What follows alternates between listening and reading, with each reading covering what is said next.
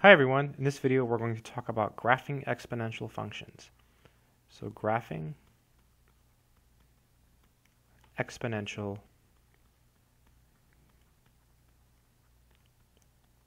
functions.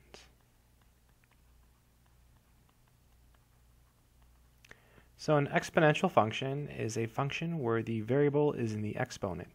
So all exponential functions look like this. f of x equals b to the x. And b here is called the base. So b is the base. So some examples of exponential functions might be things like f of x equals 2 to the x. Here the base is 2. Or f of x equals 3 to the x. Here the base is 3. Sometimes we look at a very special exponential function where we use a base called e. So e is approximately 2.7. It's an irrational number, so the digits go on forever and there's no pattern. So all of these are exponential functions.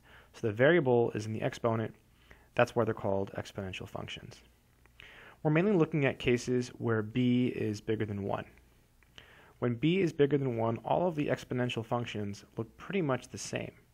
So here's the x-axis, here's the y-axis, and all of these exponential functions have a horizontal asymptote. That's an infinite dotted line at y equals 0. They all have that right at 0, and they all pretty much look like this. They all pass through the y-axis at the point 0, comma 1. So what's the difference between these ex exponential functions? Well, it's the base. So basically, the bigger the base, the faster it grows. So I use a different color here. So for example, this red exponential function that I'm drawing has a bigger base than this green exponential function. So the bigger the base, the faster it grows. For our purposes though, all we care about is the general shape. So as long as the base is bigger than 1, they're all increasing functions. If the base, just for fun, if the base is between 0 and 1, we won't be seeing this too much, you still have the horizontal asymptote, except this time the exponential function's actually decreasing. Okay, we won't be messing with these uh, for the most part. Here, all of our bases will be bigger than 1. Okay, let's go ahead and do a couple simple examples of graphing exponential functions. So ex means example, so ex. Let's do a couple, couple simple ones. A Sketch. So part A, let's graph f of x equals 2 to the x plus 3. So this is an exponential function. The base is 2, okay? And we're adding 3 to the actual function. So that means we're shifting the entire function up by 3. If it was something like this, 2 to the x minus 3, it would be down 3. Whenever you add a number to the x, it's backwards, right? You think it's right, but no, no, it's left 3. And if you subtract the number from the x, it's backwards, it's right 3. In this case, we're adding a number to the entire function, so we're going to go up 3. So the function 2 to the x has a horizontal asymptote at 0, and it looks like this. And it always passes through the point 0, comma 1. So when we add 3 to this function, what happens is we shift the entire thing up by 3. So when we do that, I'll draw it again. There's the y-axis, there's the x-axis, so x, y. This horizontal asymptote, this infinite red dotted line, is going to go up to 3, because normally it's at 0. It's always at 0. So when you go up 3, it's going to go up to 1, 2, 3. And there is our beautiful horizontal asymptote. And this point here, it's at 0, 1. So if you add 3 to that, it's going to go to 0, 4. Right, 0, 4.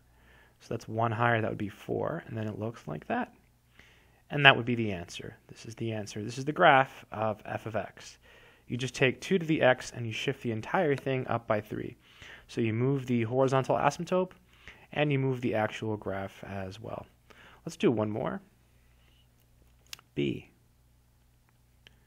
What if we had g of x equals e to the x e to the x um, minus 1.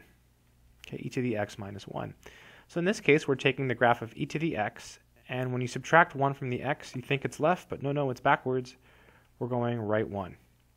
So first I'll graph e to the x. It looks just like the other ones. It's got a horizontal asymptote at 0, and it passes through the point 0, 1. So we're taking this graph and we're going right 1. Right, we're going right 1. So I'll draw it over here. Here's the y-axis, here's the x-axis. So when you go right 1, it's not going to affect your horizontal asymptote. You have an infinite horizontal line, so if you shift it to the right by 1, you'll still have an infinite horizontal line. What's going to happen though is this point is going to shift, right? Because this green line is being shifted to the right. So I'll go ahead and draw it again. And the only difference is that this is not going to be 0, 1. This is the y-intercept. So if you wanted to do a better graph here to identify what this is, you could. To find the y-intercept, you always plug in 0 to your function. So if you plug in 0 into g, g of 0, you get e to the 0 minus 1. So you get e to the minus 1. And what is that? Well, it's a number. Um, you can write it, if you like, as 1 over e. Right? You can bring it downstairs and the exponent becomes positive.